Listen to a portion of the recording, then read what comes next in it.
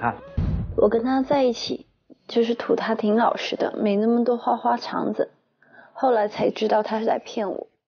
他说他二十八岁，前两天我才知道他已经三十六岁了。我一直不敢告诉他，怕他知道我真实年龄后就不跟我在一起了。其实我想的是，等感情稳定后再告诉他。我真的不是有意想骗他的。我现在才觉得一切都是假的，他做的一切都是为了让我尽快和他结婚，根本不是真的爱我。我真的好后悔和他交往。我是真的很喜欢他的，希望他能听听我的解释。我今天来就是为了挽回他，希望他能再给我一次机会。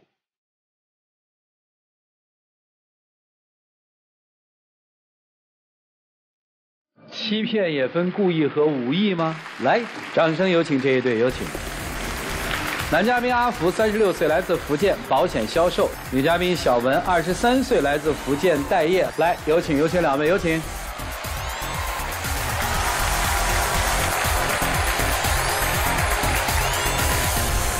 欢迎两位哈，你们俩谈恋爱谈了多久了？大概半年吧。怎么认识的呀？就有一次我在跑业务的时候，就去他他在咖啡馆上班嘛，我就去喝咖啡。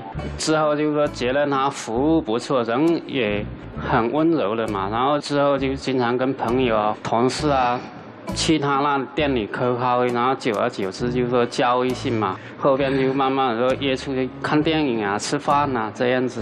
哦，喝咖啡喝出来的女朋友。最开始的时候，我听说是你要来我们这个节目的是吧？对呀，是要说说存在的问题。是，就是说他跟我有矛盾嘛，来这里让嘉宾帮我解决。哦，跟大家做一个交代啊，小文姑娘现在是懵的啊，本来人家来这个节目呢，就是出现了一些问题，所以就跟节目组说了，福建得到天津来啊。他们订了从福建来天津的飞机票，结果飞机票一订，出了大事儿。这个时候你才知道，也就是说你到天津来之前才知道他的真实年龄是三十六岁，是吧？哦，在此之前你都不知道是吗？完全不知道。我觉得整个人都晴天霹雳一样。哦，都晴天霹雳了啊！骗人家了。主要也不是骗啊，主要刚开始还说不是骗，刚开始的时候确实是说，嗯，年纪比他大实在是比较多嘛，就不好意思直接讲，因为还有一些同事啊朋友就说我长得确实是像九零后嘛。你长得像九零后？哎呀呀呀呀！你朋友说你长得像九零后，好好好好好，然后呢？然后就自己感觉比较自信，能隐瞒就自信是吧？啊，能隐瞒先隐瞒吧。现在感情也不是还稳定嘛，怕说出来矛盾越来越深。哦，我这两天脑子里就一直在回想我们以前的事情。哦，回想以前的事情。我就觉得说，原先觉得都没什么大问题的事儿，现在想起来就觉得他一直在营造的一种骗局，在洗脑我。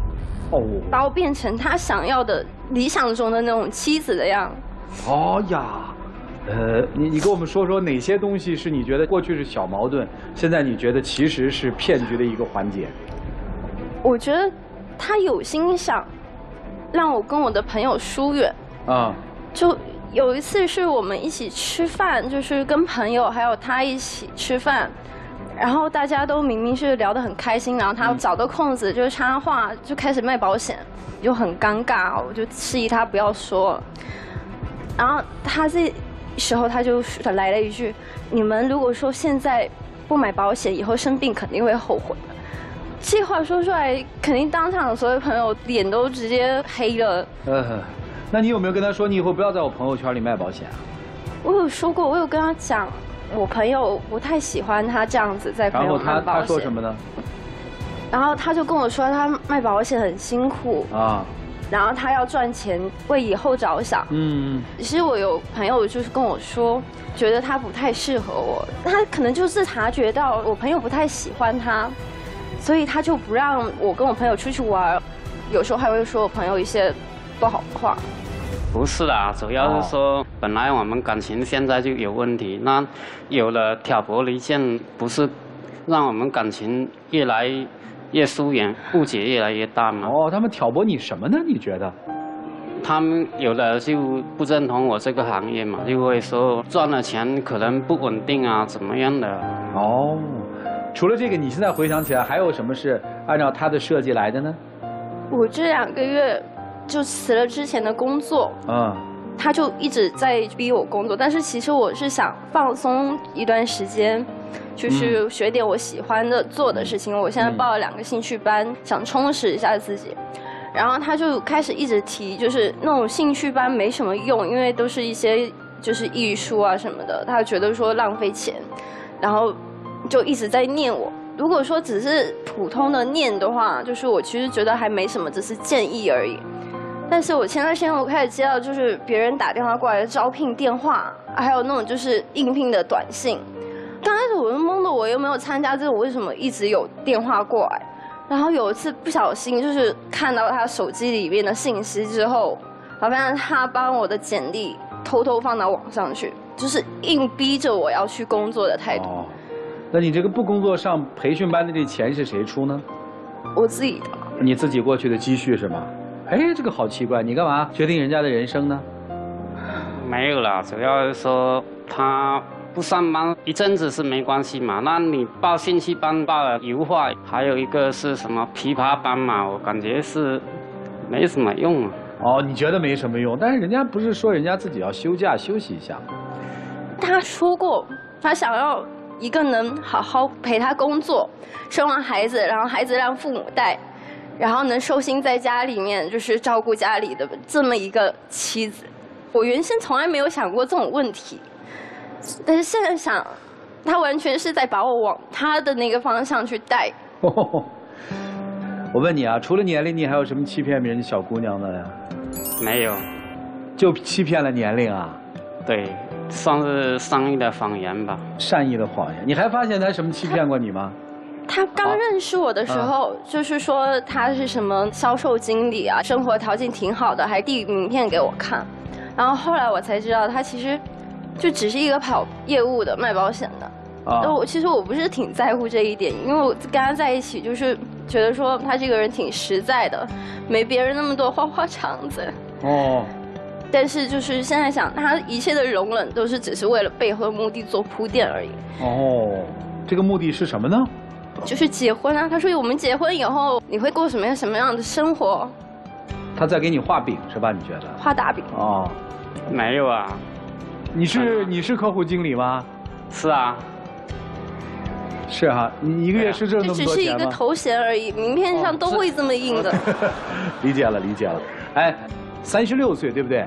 对。你在你们老家应该算结婚很晚的了哈。是。以前谈过恋爱吗？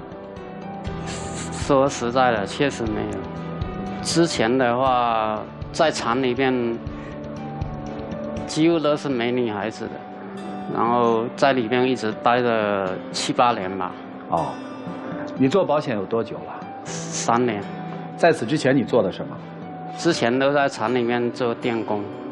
在厂里做电工的。对。女生，我问几个问题好不好？相处半年对吧？你在不知道他年龄造假之前，你们当时就是准备来这个节目的，对不对？是要解决什么问题呢？他想要结婚，我觉得。我还年轻，我还不现在还不到结婚的时候。就他催婚了。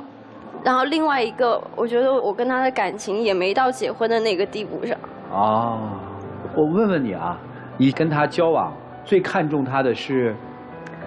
我只是觉得说，在面前我很自由吧，因为之前其实是交往过男朋友的，就是一些很之间很大的问题，就是说。一旦意见不合就会吵架，会怎么样？但是他每每次到这种时候，他都一定会就是说，先退一步。哦，他挺能包容你的，啊，他会让着你，是这意思吧？啊，如果他一开始就告诉你说他三十六岁，你还会跟他交往吗？但是没有这个前提呀，就是我们认识就是以九零后为基础上认识的他。明白了，后悔不？骗人后悔不？后悔，之前也不是特地要骗他了。确实是说大家都有了评价感觉都没那么老嘛，然后我也怕他知道我有那么大了不适合。他知道你的真实年龄之后很伤心，是不是？你给人道过歉没有啊？没有。那你先道个歉吧，你不应该骗人家，对不对？在。对不起，我不是故意的。啊。那现在也特地抽空来到这边，也是真心希望说把这个事情给解决了。嗯，女生，咱们放他骗你这件事儿先放在一边啊。就你自己感觉，在这半年的交往过程当中，这个男生对你好吗？我之前觉得挺好，但是我现在感觉就是挺表面的。就比如说心情不好打电话安慰一下，或者说他刚好在附近，他过可以过来跟你见个面啊。但是没有说真正的有那种他很心疼你的这种事情。现在想来好像是没有的啊。但是那个时候觉得还是挺好的，所以这个事情就变得特别特别的复杂。在这半年交往的过程当中。小伙子是真诚真实的交往，还是有用了一些这个手段，上了一些套路？为什么女生过去评价这段感情的时候还行，只是觉得没有到嫁的那个份儿上，但是也没有说要分手。但是就因为知道男生的真实年龄和男生的这个谎言之后，女生现在觉得所有的东西都像一个骗局。这背后究竟是什么呢？老师们又怎么看待这一对的关系呢？我们一起进入丘比特问卷。来说你们的问题，最大的问题就是男生隐瞒了年纪嘛。其实，在我们这个舞台上，不少见这样的问题。他是隐瞒了年纪，有的人隐瞒了婚史。这一类人，大部分都把自己的这些行为统称为善意的谎言。可是，善意的谎言是有界定的，怎么能称之为善意的谎言？就看这个谎言的结果对谁有利。如果对你有利，那这不叫善意的谎言。这就是欺骗，如果对他有利，那可以称之为善意的谎言。所以以后千万不要打着善意的谎言去做任何欺骗对方的事情，到头来都是搬起石头砸自己的脚。接下来再来说你教条式的谈恋爱方式，你说是第一次恋爱，你呢其实没有多少的恋爱经历，但是你的恋爱目的性却很强，你非常清楚这段恋爱我谈到底就是要结婚的。可是我结婚的时候呢，我是有一个要当我妻子这个人的一个标准的，所以你碰到了这个姑娘，长得漂亮，年纪还小，你就要求改变她了。如果真的爱一个人，不是要求他改变，而是成全他，让他做他自己。所以，如果你在经历下一段感情的话，一定第一不要欺骗，第二不要要求对方做任何的改变。想对女孩说的是什么呢？就是这个时候发现问题，其实应该算庆幸。有些人注定是要让你成长的，千万不要对爱情失去信心。他可能就是你人生当中的一个过客，教会你一些事情，告诉你成长。但是切记擦亮自己的双眼，长点心。好的，祝你们幸福。阿福说自己是九零后，长得年轻哈。你确实不老，而且你不老实。爱情当中一旦有了欺骗，就变成了虚情。一切以自己的利益和角度为出发点的关怀，都是假意。你说你是不是不老实？你骗他年龄，欺骗他。你在他朋友圈卖保险，利用他；你让他远离他的那些好朋友，控制他；你让他不要去上兴趣班，去上班赚钱，支配他。为什么？因为你想要一个那样的老婆啊，那你去找一个那样的老婆啊。你改变他，他变不了你想要的那个样子。任何人都不可能变成对方心里的那个样子，他就是他。你为什么不去找？因为不好找嘛。傻姑娘，谈恋爱身份证都不看一下。女孩子谈恋爱一定要多一个心眼儿。所以你现在要思考的问题就是：你能不能接受这个现实，继续和他相处下去？能不能对你的父母有所交代，或者说服老人们接受这个事实？给到你们的爱情建议就是，有些故事从一开始我们就看到了结局。你们今天在这儿折腾也好，将来继续回去折腾也好，不过是为了拖延散场的时间。祝福你们，谢谢。左岩呢点到了一个问题，也是我想说的，是老实哈。就这女生一开始上来的时候，我们都不能理解。他为什么哭得那么伤心？一方面是因为你脆弱，一方面是因为你简单，还有一方面是你本来认为我找到了一个老实人，对吧？结果发现他不老实。我经常在考虑一个问题：在这个世界上有没有真正的老实人？有些人看似老实。但是在利益面前，有的时候也会露出一丝狡黠。有些人貌似精明能干，但是在错综复杂的形势面前，却能够表露出一种坦荡。老实是相对而言的，所以说一个人老实或不老实，不是你一双眼睛就能看得出来。人是一个多元的复变函数，它会随着时间的变化而变化。关键是看你有没有用心的去了解。你将来跟别的男生恋爱，或者是与人相处，也一定要切记这一点，不要轻易的相信一个人，也绝不轻易的去污蔑一个人，要相信自己的判断力和长足的了解，好吧？对于男生来说，我亏你也说得出口九零后，差了八岁呢，你怎么敢说呢？对不对？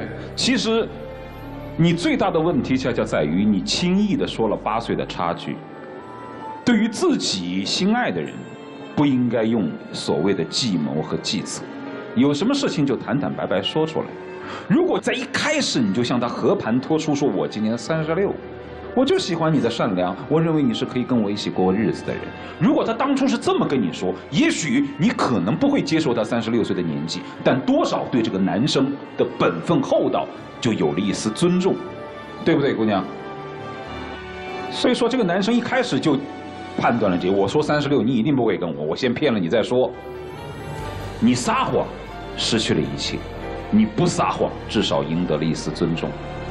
明不明白？我们宁愿要一丝尊重，也不愿意要欺骗之后的利益和被别人戳破之后的尴尬，好不好？好，尊重别人，给别人道歉啊，就这样。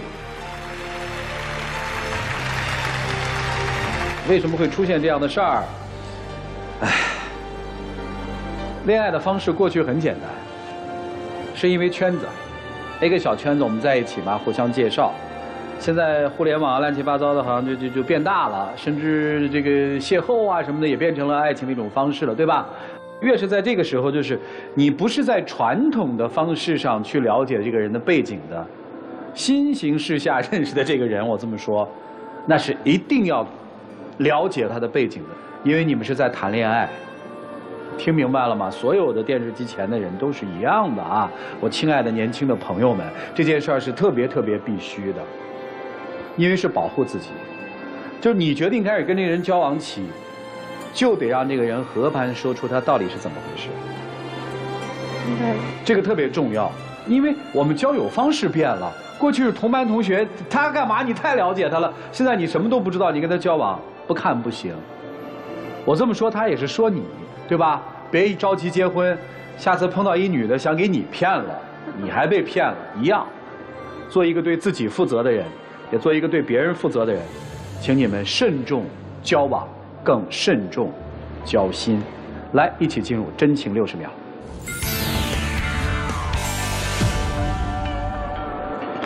其实这段时间也不是说，啊，真的是想骗你。我们走过了这半年的点点滴滴。其实是说，啊，我们两个真的没有互相的去真正的了解。你也不要生气，我之前说过的话都是真的，也对你也是真心的。希望我们两个之后能够继续成为朋友。我很庆幸我今天能过来，要不然也许某一天，我要等到到民政局去领证了，我才会知道原来你在骗我。我也不是真正的想骗你，确实是说啊，请亮灯啊！谢谢两位，请回吧。哎，来，请关门，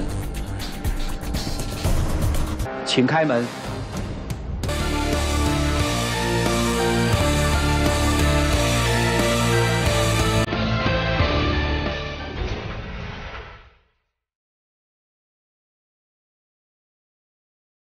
有要说的吗？没有了。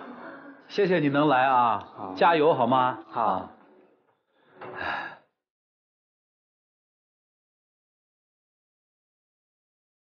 让我们一起进入爱情保鲜剂。有网友提问说：“我和我老婆结婚三年半了，现在呢有两个孩子，她总嫌我这儿不好，嫌我那儿不好，还总是嫌弃我父母家务做得不好。我现在也很烦恼，我该怎么办呢？”其实两个孩子的妈妈是非常艰辛的一件事儿。她嫌弃您这儿不好那儿不好，有没有想过嫌弃的背后是什么呢？是否你对她的关心太少了，或者说对她真正的心疼太少了？如果真的从心底去心疼她、关爱她，我相信她的抱怨也会减少。祝你幸福！感谢电视机前观众朋友的收看和陪伴，我们下期节目再见，谢谢大家。